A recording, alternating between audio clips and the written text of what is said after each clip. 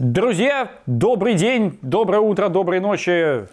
Когда вы там смотрите видос, мы вернулись в Москву. Мы всю дорогу, сколько вот э, снимаем документалки, всегда стараемся сделать так, чтобы перед съемками любой документалки у нас жопа горела хотя бы после съемок. Ну, то есть, что вот мы нормально подготовились, все сняли, и потом уже умираем на монтаже. Но всегда получается так, что у нас вот к съемочным дням начинается какое-нибудь переделывание сценария, еще какая-нибудь фиговина, типа переделывание каких-нибудь процесса съемок, мы придумываем какие-нибудь новые штуки, тролля, и в итоге мы еле-еле всегда укладываемся в дедлайн. И сейчас все так же. За 4 дня нужно переделать нахуй все, что мы делали полгода. Да, Лиз? Она не слышит. Э, Лиза в шаге от того, чтобы самоубиться, я думаю. Где-то вот там. И сейчас в наушниках сидит там что-то переделывает. Я как только запишу новостной выпуск, к ней присоединюсь. Короче, весело. Но это все означает то, что где-то, ну, в какой-то плюс-минус в ближайшей перспективе очередная гартовая история подъедет на канал. На этом пока все. Из того, что очевидно, у меня новый стол. Просто появился. Он может делать теперь вот так. И в целом я теперь новостной выпуск могу вести вот, вот в таком виде. Ну, просто, просто, блядь, могу, все. На самом деле мы весь продакшн закупили такие столы, что было удобнее работать. Ну, типа, Иногда так бывает, когда ты долго сидишь за компом и, ну, типа, у тебя все затекает, ты просто берешь, раскладываешь вот этот стол и работаешь стоя. Все ради того, чтобы эксплуатировать людей 24 на 7, чтобы даже полежать нельзя было. Даже, даже если ты встал со стула, сука, работай. Слоган нашего продакшена. В прошлом новостном выпуске, точнее, в позапрошлом новостном выпуске, который был перед тем, как мы поехали в Армению отмечать мое 30-летие, я там сказал такую фразу, дословно, что если мне кто-нибудь скинет песню Сектора Газа 30 лет, забаню нахуй. Отдел продаж такой, мы тебя поняли, услышали, и теперь у меня есть диск, на котором я нарисован э, со, шрифтом, со шрифтом сектора газа 30 лет. И здесь различные вариации трека 30 лет с ремиксами и с чем-то еще. Я не знаю, что там. Мне нужно будет где-то найти что-то, на чем можно будет послушать диск, но теперь он у меня есть. А, и, кстати говоря, и, э, первое же, что мы сделали, когда у нас только появились эти столы, попробовали, зажимает ли он палец между стулом и, ну, типа, если система на дурака, что ты оставил руку тут, нажал на кнопку, руку отрежет. Просто знайте. Защиты у этого стола нет. Ну, смотри, типа, ни один человек сознательно себе конечности и не отрубает, и пальцы в косяках не прижимает, или еще где-то что-то с ними не делает, ну, сознательно. Не, ну есть, ну, в смысле, типа, ну, по большей части. Я не удивлюсь, что где-то в мире существует человек, который себя повредил киевским столом. Я уверен, что где-то он существует. И последняя новость из нашего внутреннего. В автопрагмате снова открытые вакансии на менеджеров в отдел продаж. Мы расширяемся, у нас, нам нужно еще больше людей, больше людей к нам сюда, в офис, вот туда, к нам работать. Свободных мест сразу несколько, то есть мы ни одного человека ищем. Все, как обычно, будет внизу, в описании, там вас будет ждать ссылка, в ней форма. Пожалуйста, заполняйте подробно. Потому что, ну, представьте, вы там будете, как типа соискатель, конкурировать с несколькими сотнями людей, скорее всего. И, ну, чем просто подробнее и чем ответственнее вы отнесетесь к форме, а, тем больше шансов, что мы вас заметим и пригласим на собеседование. До 31 числа мы будем собирать все заявки и отсматривать ваши резюмешки. Э, до 7 числа, до 7 июня мы дадим ответ всем тем, кто нам подойдет и пригласим на собеседование и уже ну, возьмем к себе на работу. А если вы заполните э, анкету и вам никакого ответа не придет, то значит, что отбор вы, к сожалению, не прошли. И еще раз акцентирую ваше внимание, что, пожалуйста, отнеситесь, ну, типа, если вы хотите работать у нас, то отнеситесь к заполнению анкеты внимательно и ответственно. Потому что, опять же, напоминаю, вы там будете не один, и мы будем выбирать. У нас есть такая опция, мы выбираем из тех людей, кто с нами будет работать. Вот. И давайте уже к новостям. Stellantis сохранит все 14 брендов как минимум на 10 лет. Контекст такой, что Stellantis типа показал свою стратегию, что они такие, мы обещали сохранить абсолютно все наши бренды, нахер никому не нужны, мы их сохраним. И удивительно, если у них получится исполнить эту стратегию в жизни, потому что когда у тебя в одном концерне 14 брендов, э, куча рынков сбыта и прочее, прочее, взять по новой, просто по щелчку пальца все идеально отстроить и оптимизировать таким образом, чтобы это все работало, это очень сложная задача, потому что, ну, нужно понимать, что каждый бренд это Расходы — это отдельная структура внутри концерна. Далеко не все из них прям супер прибыльные, чтобы Stellantis такой типа, так, мы сейчас спокойно сможем тут распоряжаться, бла-бла. При этом не забываем, что сейчас идет как бы во всем автомобилестроении такой условный новый цикл, когда все автопроизводители очень много денег инвестируют в электрические платформы и прочие всякие новые технологии, просто чтобы себе обеспечить прибыль в будущем. И на самом деле концерна который бы сидел и такой, типа, на куче денег и хорошо себя чувствовал, сейчас в мире нет. Все крупные так или иначе сидят и думают, суетятся жопой, как бы все соптимизировать, как бы все сделать так, чтобы мы могли нормально существовать на долгой дистанции. И в условиях всеобщей экономии, вот бравада Стелантиса, что мы все сохраним, и Абарт, и Альфа Ромео, и бренд DS. Вообще все сохраним и все будет точно работать. Даже Vauxhall, который сидит в Великобритании, единственная страна сбыта у Vauxhall в Великобритании, все, больше он нигде не представлен. И это очень ну, смелое и интересное заявление. Мне очень интересно будет понаблюдать за тем, как будет развиваться Stellantis и что у него будет получаться в целом, потому что пока что чисто вот с того момента, как Fiat Chrysler и Peugeot с Citroёn слились в один концерн, они сразу так, тем, таким образом встали на третью или на четвертую позицию, на четвертую, по-моему, позицию вот в мире. Мне интересно посмотреть, удастся удастся у них сохранить эту штуку и не отстать от конкурентов. И, честно говоря, я думал, что все-таки, ну, какие-то сокращения у них будут, что как минимум, ну, типа, DS выкинут и как-то реформируют, Vauxhall и Абарт. Вот мне кажется, вот эти бренды, ну, типа, можно было бы и выкинуть. И Альфа Ромео туда же, нахуй. Тебе Кларксон придет и пиздюлей даст. Да мне половина сейчас автомобильных фанатов таких, в смысле, нахуй охуел. В данный момент, ну, Альфа Ромео это сугубо убыточная штуковина абсолютно, и как и Мазератти в целом. Ну, как бы и, и ладушки. Пусть себе итальянцы развлекаются как хотят. Нам-то, по сути, какая разница. Короче, основная логика, ну, у меня в голове пока не бьется. То, что Stellantis может сохранить абсолютно все бренды и настроить работу таким образом, что, чтобы это все прям работало, приносило прибыль, и в итоге они, типа, составили серьезную конкуренцию Вагу, Тойоте. Но будем посмотреть. Интересно наблюдать. Потому что кроме как наблюдать за этим концерном, у нас больше ничего и не остается, потому что из их продукции хер что в России купишь, кроме джипа. Peugeot, Citroёn не считается. Ну, почему? Почему так долго? Неужели в этом мире не существует возможности модифицировать автомобили быстро и весело? Ну, а еще неплохо было бы вешать на них пулеметы с ракетами и переделывать там по-всякому. Так, погодите. Я же сейчас описываю кроссаут. Crossout — это онлайн-экшен, в котором вы можете собрать любой боевой спорткар из сотен деталей. И уже на нем разносить врагов в динамичных битвах. Недавно игру окутала настоящая киберпанк будущее. Город захватил могущественный синдикат, и вам нужно будет уничтожать врагов среди небоскребов, деловых центров и монорельсовых дорог, чтобы по итогу вернуть контроль над мегаполисом. В боях вы получите новые детали и оружие. А еще в Crossout теперь есть кайдзю. Это мощная, сверхсовременная пушка, с которой ломать машины врагов теперь еще веселее. В игре вместе с друзьями можно устраивать рейды на боссов, завоевывать репутацию у могущественных фракций, чтобы открывать доступ к новым передовым технологиям. При этом ненужные детали можно совершенно спокойно продать другим игрокам на черном рынке и параллельно себе там еще прикупить новых модулей. Генераторы невидимости, ховеры, радары, ускорители и многое другое. А также вы можете принять участие в клановых войнах или соревноваться в гонках, потому что в игре довольно много режимов, среди которых можно найти более подходящий для вас. Поэтому качайте Crossout бесплатно по ссылке в описании и получайте кибербонусы от меня. И увидимся в игре. Российский авторынок. Захватывающая статистика апреля. Куча новостных заголовков висит везде, что российский рынок в апреле показал динамику в 290%. Вырос почти в 4 раза. Или в 3 раза? В 4, в 4. В 4, в 4. Да, в 4 раза. Математика тут у нас у всех вот такая. Все инженеры сидят. Не забывайте, что новостные выпуски пишутся вот, это просто поток сознания. Поэтому, блядь, наслаждайтесь. Он вот такой. И тут ты потом смотришь еще разбивку по брендам. И тут у Лады плюс 304%, у Kia плюс 341%, у Hyundai вообще 534% увеличения продаж. И как бы все бы ничего, но понятно, почему так происходит, потому что в предыдущем апреле у всех продажи были ноль. Потому что был что, локдаун. Вот. Самый кекос, конечно, Opel, как и везде. У него плюс 4025%. В прошлом апреле они продали 4 автомобиля, а сейчас 160. Поэтому, блядь, сколько это? Че, плюс 4000%, это в сколько раз? До, до 4000% это 40 раз, да. А что они продают, блядь? Они вот эту Berlingo продают? Сейчас? Да. Хуй знает. А Berlingo Opel Combo, да, но вот он только появился. Ну и вот эти были машины, которые мы обсуждали, что Zafira Life тоже минивэн и Гренланд, Грунланд, Гренланд, ну такой кроссовер.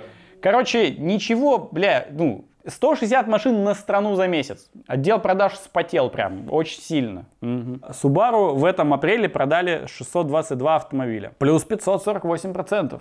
Относительно апреля 2020 года, когда никто ничего не продавал. Но, понимаешь, чтобы понимать э, ну, объем величия Subaru, нужно просто назвать еще пару брендов, и все станет понятно. Вот Subaru продал 622 автомобиля, а Peugeot продал 843.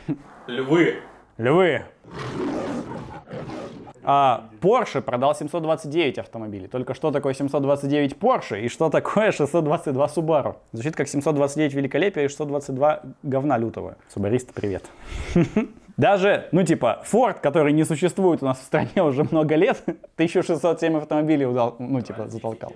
Ну, коммерческий, да, это коммерческий сектор. Ну и какие-то никому нафиг не нужные Шкода с Volkswagen продали каждый по 10 тысяч автомобилей. Вот. Но а, все, что нужно сказать по апрелю, по текущему, так это только то, что, естественно, с предыдущим апрелем его сравнивать абсолютно бесполезно, нужно сравнивать с 2019 годом. А относительно 2019 года у нас рынок все-таки вырос там буквально на несколько процентов, на 2%. Да, 2,5%. И это в целом хорошо. В разрезе двух лет 2,5% это, ну, примерно ничего, но на фоне того, что произошло в прошлом году и на фоне того, что сейчас в целом происходит с рынком, что нас уже касается история с тем, что всем не хватает чипов, что какие-то заводы периодически прекращают производство и бла-бла-бла. В условиях продолжающегося кризиса все равно у нас рынок показывает положительную динамику. Просто Билл Гейтс всех чипировал. У кроссовера Porsche Macan будет два наследника. Ты так хотел, чтобы я на каждой новости с Porsche делал? Прикол в том, что Porsche параллельно разрабатывает сразу два Макана. Один будет электрический, другой будет ну, нормальный, мужской. Как и до этого Porsche говорили очень аккуратно такие, что да, конечно, электричество это, м, да, Тайкан, смотрите, какой замечательный. М, да, но 911 мы на электричество переводить не будем. Он будет с бензином до последнего вообще. Вот пока вот сама Меркель к нам не придет и не скажет, что вот этого больше не было, мы, произ... мы будем его производить. Понятное дело, так как Porsche это типа одни из тех ребят на автомобильном рынке, кто реально делает деньги, много денег, всю дорогу этим занимаются последние лет 30. Они, конечно, могут рассказывать кучу историй, какие мы сейчас будем экологичные, как мы сколько платформ новых запустим и бла-бла-бла, и даже новый Макан будет электрический, все равно бензиновый, тот, который реально будут люди покупать и на котором Porsche будет зарабатывать, они вот все равно мы вам предоставим. С одной стороны, это прикольно, с другой стороны, сразу же понятно, что это очень странное технологическое решение. Точнее, с точки зрения производителя там все будет нормально, а с точки зрения потребителя немного не очень. Вот что я имею в виду. Понятное дело, что все затраты пойдут на разработку новой электрической платформы, само собой. Так как одновременно две новые платформы выпускать слишком дорого, скорее всего, бензиновый Макан будет на все той же старой платформе, как и текущее поколение. Потому что фактически, ну вот, актуальный Макан стоит на древней тележке MLB от Q5 первого поколения. Вот оттуда. Да, агрегатка там вся совершенно другая, там уже внутри много чего нового проложено и так далее, но все равно платформа все еще та. А Тайкан на чем сделан? Он уже на новой электрической платформе. Уже новая, все вот, вот прям новое-новое. Они пока еще точно не говорят, что это будет за платформа. Они будут говорить, что а, они говорят, что электрическая будет новая. Возможно, они имеют в виду как раз таки Етрон, но Етрон на самом деле, он в чем самая большая боль Етрона? В том, что он стоит на MLB. Это просто бензиновый автомобиль, адаптированный под электричество. И у тебя там это купированный со всех сторон бензиновый автомобиль. Буквально вчера, типа, мне вчера Илюх Казаков такой, типа, ну, он же сдал Етрон и ну, сказал, что он думает по этому поводу. Не на камеру, а мне.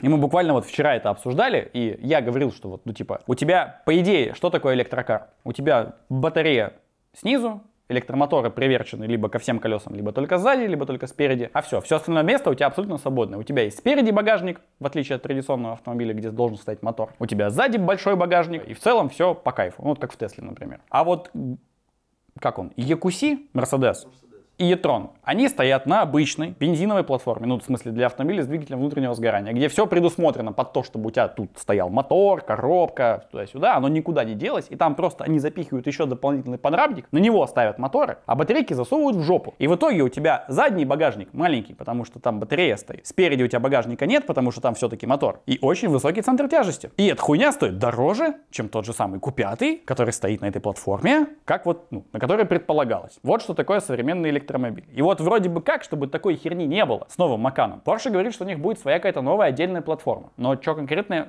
там будет, не говорят. Да, современные электрокары это прям, ух, это прям. Есть одна единственная причина купить, допустим, тот же самый e или там Якуси или что-то подобное. Это если ты ёбнутый. Все. Больше причин нет. То есть с точки зрения цены, и с точки зрения удобства, и с точки зрения конструктива самого автомобиля, я даже не говорю про инфраструктуру, ты получаешь в случае с Етроном продукт, который дороже и хуже. И кроме того, что ты вот весь такой экологичный, больше никакой причины купить его нет. И очень сильно надеюсь, что с новым Маканом такой же фигни не будет. Что это будет уже, если, если уж и будет элек- электрический Макан, чтобы он был вот нормальный, электрический, какой он должен быть. Но все равно покупать будем бензиновый. Продажи Тесла туда же, в эту же тачанку, в Китае упали в полтора раза за месяц. Оказалось, что Tesla э, в своих отчетах по одному из своих самых главных рынков сбыта по Китаю предоставляет довольно странные цифры. Они э, в отчете по продажам в общую кучу сваливали автомобили, которые проданы в Китае и которые произведены в Китае и должны уехать на экспорт. Но они это все скидывали в отчетность, что вот наши, наш объем продаж в Китае. Чуете? И оказалось, что если вычесть эти автомобили, то фактически объем Тесла упал в полтора раза за этот период. Хотя при этом у всех конкурентов э, Китая все нормально. Все остальные главные электрические бренды Китая, у них все в порядке с продажами, ничего никуда не падало и так далее. Тесла отмазывается тем, что там, ну, сезонный спрос, все дела и так далее, но с чем конкретно связано падение объема продаж, не уточняется и непонятно. Понятное дело, что сейчас вот типа, ну, в Европе очень интересный рынок сбыта для электромобилей, и почему так мы скоро расскажем. И в Китае тоже очень интересный рынок сбыта. То есть, по сути, две основные вещи, куда ты можешь сейчас оттолкать электричку, это типа Европа и Китай. Все, вариантов других больше нет. В США это, ну там типа больше побаловаться. В Европе больше электромобилей продается, чем в США. Как бы довольно странно быть целевым рынком сбыта электрокаров, когда у тебя самый популярный автомобиль в 150. Вот. Да, да, да. И в целом мне кажется, что это просто какая-то типа сезонная история. Никакой трагедии с Теслой не происходит, просто потому что, ну, типа, понятное дело, что спрос на электромобили будет только увеличиваться со временем, с ростом инфраструктуры они будут становиться удобнее и так далее. А в Китае, там, они все очень тоже двигаются по электротеме, и все у Тесла там будет в порядке, как бы мне от этого грустно ни было. Илон Маск заявил об отказе Тесла принимать биткоины и они резко подешевели. Какое-то время назад Маск у себя твитнул или где-то на презентации сказал, я уже точно не помню, что Тесла теперь будет продавать автомобили за биткоины. При этом была опять же новость, что он недавно себе купил кучу биткоинов, и на вот этой новости курс довольно заметно подскочил, что теперь биткоины можно использовать в качестве покупок на Тесла. И сейчас с хрустом включается задняя, под объяснение того, что оказывается, внезапно оказалось, что для того, чтобы майнить биткоины, нужно много электроэнергии, а для этой дополнительной электроэнергии используют уголь, а это не экологично. И Тесла не может принимать такую грязную монету. Не потому, что кто-то на этом проспекулировал и заработал, нет. Вообще не поэтому. А потому что биткоин грязный. Но как, но как типа технологии и прочее, Маск сказал, что это очень перспективная вещь, очень радостная, замечательная, но мы пока принимать не будем. И я удивляюсь до сих пор, почему фразы Маска какие-то по, по любому поводу очень сильно колышат общество и очень сильно влияют на котировки. Потому что, ну, объективно, из того, что делает Маск последний там год-полтора, именно с Теслой, он просто, ну, типа, говорит всякое, и оно как бы не сильно потом находит подтверждение в реальности. Ну, вот я, я удивляюсь до сих пор, хотя я знаю, как это работает. Мы в документалке про Porsche это объясняли, в том числе немножко механику рынка. Но кекос, конечно. И за Маском очень забавно наблюдать, если составлять фактологию того, что он говорит и того, что он обещает, что будет сделано, выполнено и так далее. Ну, конкретно с Tesla, я не говорю все остальное. Очень забавно наблюдать на то, как оно систематически не происходит потом в реальности. Россиян предупредили о скрытых проверках ГИБДД. Не видите ли тут никаких противоречий, что россиян предупредили о скрытых проверках ГИБДД? И тут, типа, ну, вышел пресс-релиз, что ГИБДД такие, у еще сильнее ебать вас будет, грубо говоря. Но контекст такой, что, типа, в некоторых э, регионах решили ставить так называемые скрытые патрули. То есть, типа, когда сотрудники э, ГИБДД стоят на машине без опознавательных знаков, без спецсигналов, без всего, просто вот на чем-то, и просто палят обстановочку. Особенно в каких-нибудь опасных местах или где-нибудь, где популярно люди любят нарушать правила, там типа там через сплошную, где-нибудь разворачиваться, где это супер удобно, например, или так далее. Фоткать нарушение и передавать фотографию на ближайший пост ГИБДД, где уже человека будут принимать и как бы ебать по полной, по полной. И есть ощущение, что ГИБДД вдруг забыли, что такое камера наблюдения. Есть у меня такое ощущение. Ну, потому что, типа, вы изобрели человеческую камеру наблюдения, которая, ну, тоже так же, как и сотрудники без опознавательных знаков, не могут человека поймать сразу на месте и выебать, потому что выебать человека можно только со спецзнаками. Ну, нужно какое-то шоу, представление и спецодежда для того, чтобы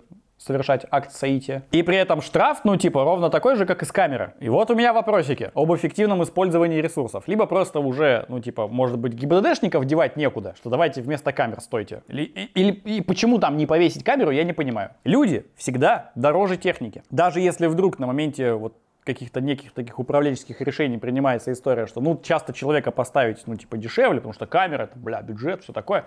Но она же отбивается намного быстрее. Камере не нужно спать, ей не позвонят, ей ее не отвлекут, ей анекдот не рассказать. Точно все нарушения будут зафиксированы. Она точно 24 на 7 будет работать, ее типа обслуживай и флешку забирай. Или если у меня есть Wi-Fi модуль, может передавать. Все.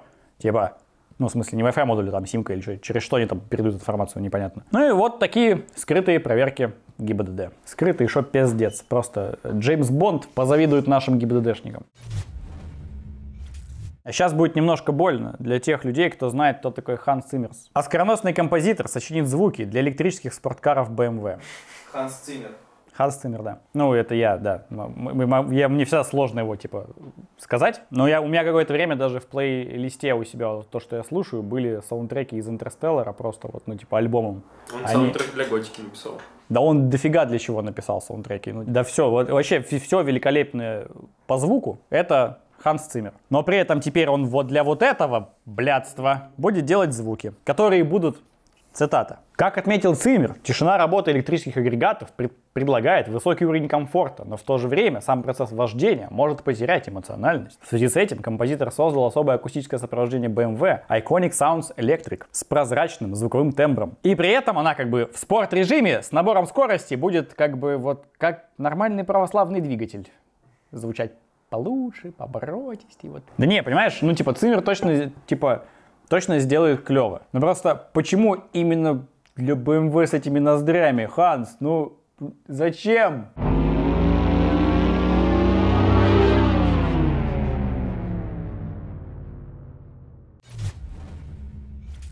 Российские ученые создали дешевый катализатор для автомобилей. У нас ребята из э, химического факультета ТГУ сделали новый тип катализатора, который не подразумевает в себе использование дорогих материалов. Ну, в смысле, вот, драгоценных материалов, я имею в виду, металлов. И это очень клево, потому что если вот это изобретение, ну, типа, пройдет проверки и потом может быть использовано на производствах и на автомобилях, оно может быть использовано на производствах и автомобилях, просто пока, ну, типа, вот только изобрели. Если это потом пойдет уже именно в, кон- в конечные продукты и так далее, само собой стоимость катализатора упадет, и, возможно, в теории, это немножечко продлит жизнь двигателям внутреннего сгорания. Потому что одна из самых главных причин, почему все равно придется уходить двигателям внутреннего сгорания через там какое-то время, станет Евро-7 и удорожание в целом всех бензиновых автомобилей. Электроавтомобили будут только дешеветь, бензиновые дорожать за счет того, что они будут становиться сложнее из-за различных систем экологических внутри автомобилей. Катализатор одна из штук, которая очень дорога сама по себе.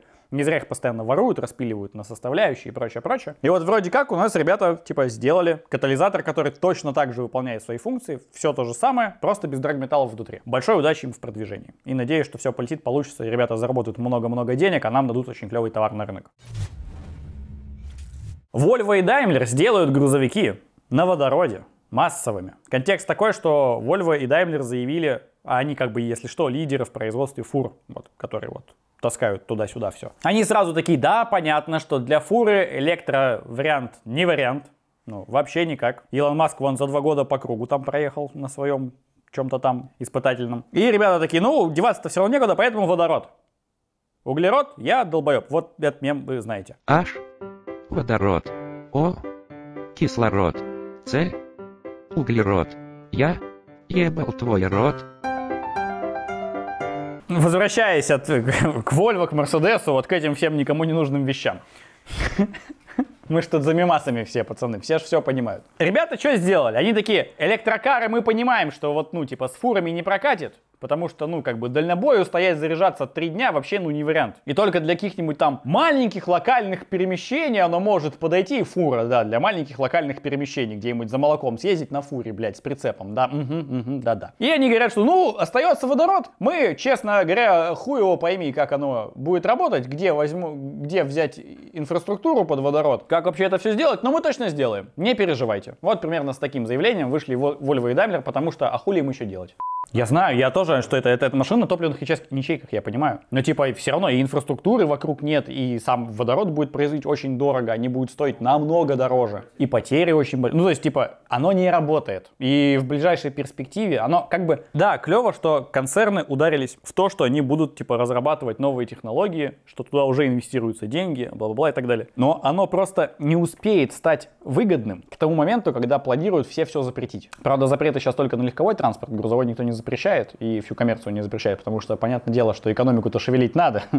И как бы там с экологией нахуй пойдешь очень быстро, прям бегом, в припрыжку. Представляю, 2030 год, и Porsche такие, а 900 911 это всегда был грузовик вообще-то. Но это грузовик по доставке из владельцев.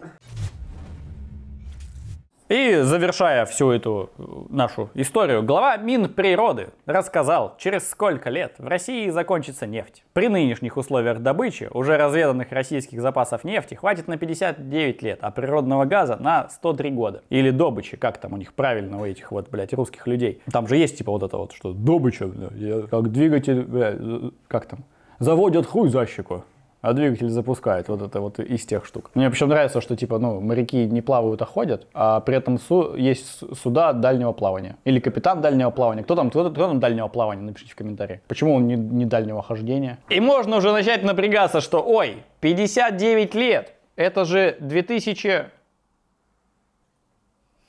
80. 80-й, да, спасибо. ну да, это 2000 не скоро. Но тут нужно понимать, что все это имеется про уже разведанные российские запасы. И на самом деле с нефтью всегда вот происходит такой цикл, что типа все очень сильно напрягаются, что нефть скоро закончится, потом инвестируют кучу денег в геологию, в поиск, разведывают, находят новое месторождение и снова лет 15-20 не парятся, потому что, о, у нас еще подвалило. Тут ровно такая же история, плюс нужно понимать, что все равно со временем технологии потребления становятся эффективнее, бла-бла-бла, и типа на одну, грубо говоря, удельную единицу транспорта, либо другой штуки, для которой используется нефть, она, ну типа, снижается. Общее потребление растет, потому что всего становится больше. Но на одну конкретную вещь, на один конкретный автомобиль, на одно конкретное производство с дистанции требуется меньше сырья. Вот. И конкретно у меня никаких переживаний по этому поводу нет, потому что определенно точно, типа, если уж прям сильно понадобится, то нефть точно найдут где-нибудь еще, раскопают еще какую-нибудь здоровенную херовину, и там еще на 184 года вперед всем хватит. И на этом, в этом выпуске у меня все. Мы пойдем погибать в сценарий дальше, всего лишь 9 вечера. Я планировал сегодня закончить в 6 вечера.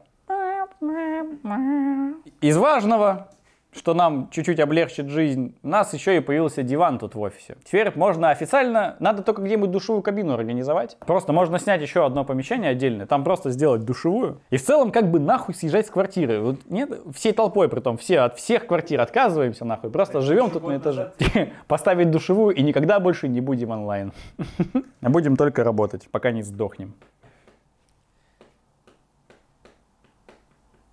Добро пожаловать, Егор. Пока.